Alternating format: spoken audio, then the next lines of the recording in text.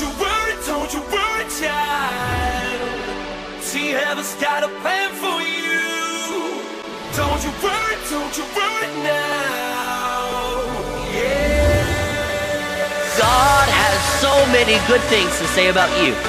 Did you know that?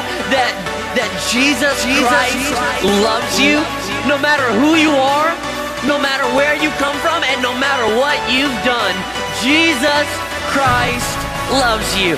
If you'll say yes to Jesus Christ, your life will have purpose. Your life will have joy. Your life will make sense if you say yes to Jesus.